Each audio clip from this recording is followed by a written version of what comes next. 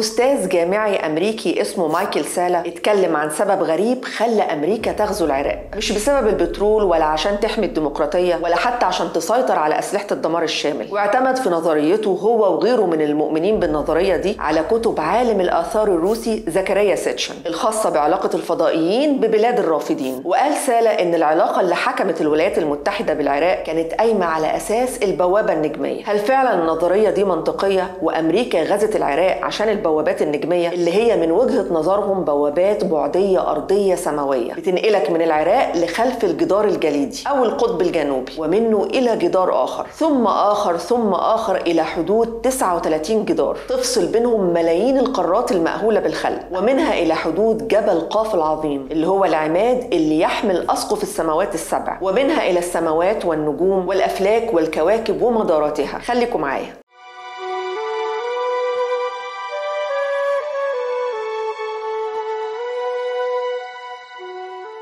في 2003 وقبل ما أمريكا تغزو العراق بحوالي كم شهر اكتشفت بعثة أثرية ألمانية في عمق الصحراء في العراق آثار لمدينة كاملة من الزمن السحيق. بترجع لآلاف السنين وتعتبر من أهم الاكتشافات في العصر الحديث. البعثة دي استخدمت أحدث معدات المسح بقيادة عالم آثار اسمه يورك سبايندر. الغريبة إن أوصاف المدينة دي هي نفس الأوصاف اللي بتتقال عن مدينة أوروك القديمة. وجلجمش ملك بلاد ما بين النهرين القديمة كان حاكم حاكم عليها وهو يعتبر حاكم العراق من آلاف السنين. وفي منطقة مش بعيدة عن الآثار دي مقبرة كبيرة أعلن فريق البحث وقتها إنها تقريبا مقبرة جلجمش. لأن أوصاف المقبرة بتتماشى بشكل كبير مع أوصاف المقبرة المذكورة في ملحمة جلجمش. واللي مكتوب فيها إنه وصل في نهاية رحلته للعلوم في كل العلوم وعرف كل شيء عن كل شيء. ووصل للعلم التام والحكمة وعبر المتاهة وعرف حقيقة الأشياء. لو القبر الأثري المكتشف ده هو نفسه قبر جلجمش. هل ممكن يكون مدفون معاه مخطوطات؟ أو نقوش لعلوم ومعرفة قديمة متقدمة؟ طبعا ده وارد جدا. هنا إدارة بوش الابن وقتها أدركت إن صدام حسين بدأ بالتنقيب في مشروع اسمه اوروك وبمساعده ألمانيا وده خاص بترميم زقورة أور والآثار العراقية الأخرى. واتقال إن صدام عرف مكان البوابة النجمية وإنه حصل على المعلومات الكافية بخصوص البوابات والمخلوقات الفضائية واسمها الأنانوكي. هكلمكم عن مخلوقات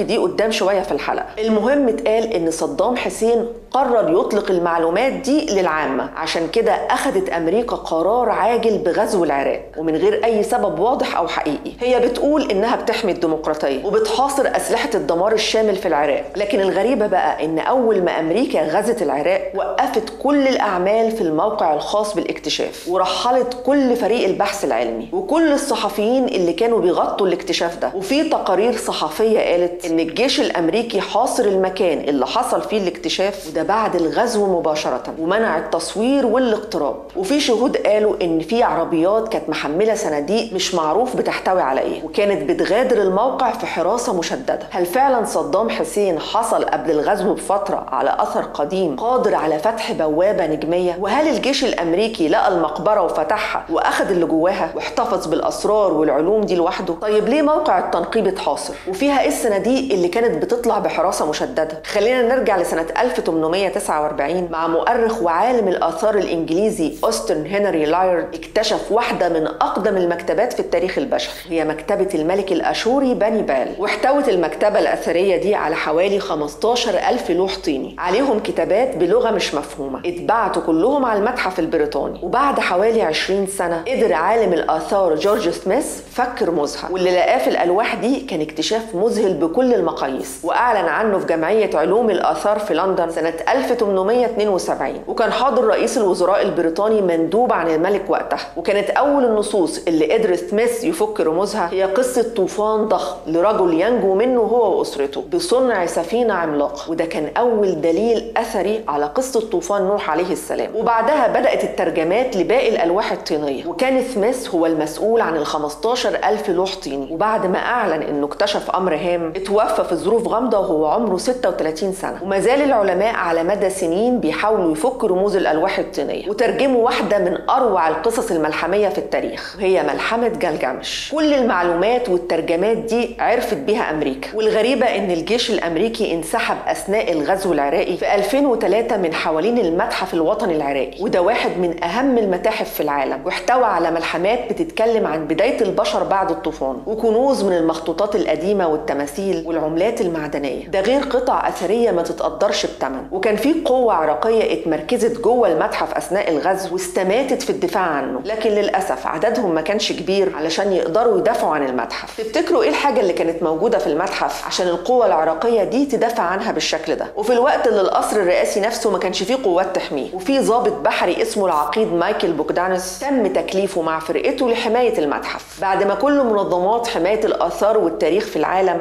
استغاثت عشان حماية آثار العراق. ووصفوا اللي حصل إنه مجزرة للتاريخ البشري كله. ما يقلش عن حريق مكتبة الإسكندرية أو غرق مكتبة بغداد. ومايكل لما نزل بجنوده للمخزن اللي موجود تحت المتحف اكتشف حاجة غريبة جدا. اكتشف إنه مش أول حد يوصل لمنطقة المخازن. ورغم إنها كانت مقفولة بإحكام واضح إن كان في حد بيدور على حاجة معينة. والحد ده مستحيل يكون لص. لأن في قطع أثرية ثمينة جدا متسابة زي ما هي. أختام إسطوانية آلاف من العملات الذهبية القديمة. وبكده اللي نزل المخزن كان عارف هو عايز إيه. وبيدور على حاجة محددة مش داخل يسرق. إيه هي الحاجة دي؟ اللي كانت موجودة في مخزن المتحف ودافع عنها الجنود باستماتة. في عشرينيات القرن ال19 كان في أوروبا إشاعات منتشرة بين المجتمعات السياسية والعلمية إنه تم العثور على قطعة أثرية في العراق من تكنولوجيا قديمة ومتقدمة وسموها بالبوابة النجمية. البوابة دي على حسب الأقاويل اللي اتقالت عنها بتسمح لمستخدميها بالانتقال بين الكواكب والنجوم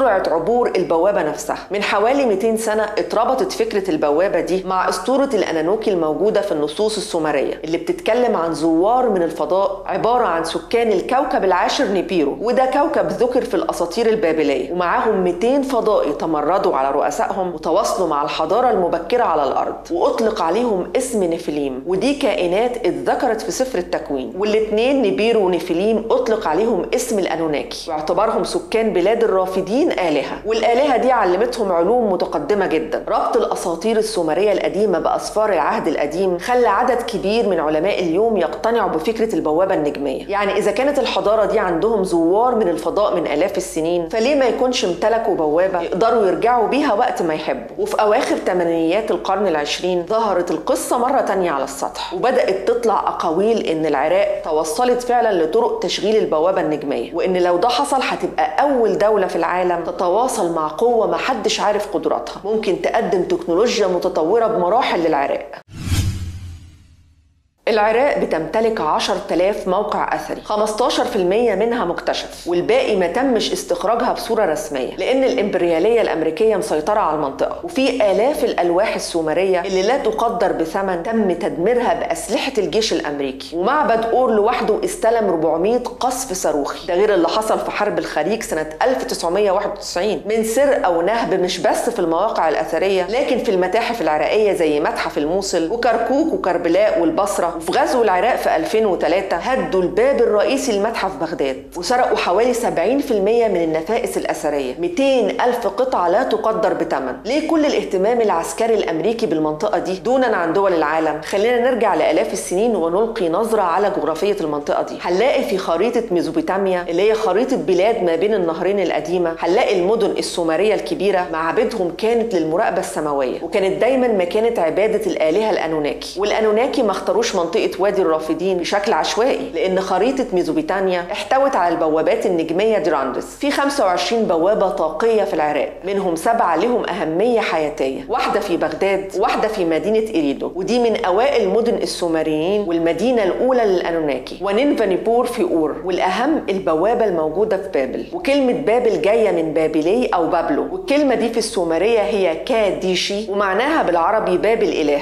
أو شواندا ومعناها قدرة السماوات. السماوات وكمان معناها الفتحة اللي بتنقل الأحياء. وباب بابل هو البوابة الأخيرة اللي استخدمها الأنوناكي عشان يتمكنوا من الانتقال من منطقة للتانية في الكون أو السفر لأبعاد أخرى. في كتاب اسمه سر النجوم المظلمة للكاتب أنتون باركس ذكر إن الأنوناكي بيسافروا من خلال البوابات النجمية وبيستخدموا مركبات اسمها جازيرالا ومعناها العجلة المضيئة وكانت بتصدر ضوضاء. القدماء كانوا بيربطوها بضوضاء ال dragon أو التنين وعشان يقدروا يسافروا لازم يبرمجوا نقطة الوصول يعني تفتح بوابة أخرى في جدار جليدي آخر علشان يقدروا يوصلوا للمكان المقصود في أي أرض في النظام الشمسي أو أبعد. وجميعها بتمتلك دوامات الطاقة بصورة طبيعية ومن خلالها في أنفاق بتنقل بسرعة أكبر من سرعة الضوء لأماكن أخرى ممكن تكون في نفس العالم أو في الكون البعيد. الكلام ده اتذكر في الألواح السومرية زي أولوكومبي في اللوحة الثالثة وبيقول النص الآلهة جهزت عرباتها إله الحرب قفز إلى مركبته. جميع العربات وبضوضاء شديد اتجه إلى البحر. وفي نص مكتوب على قبر توموسيس الثالث بيقول سيسمع صوت في هذه المنطقة. بعدها الإله الكبير مر أمامهم مثل ضوضاء سماء ترعد.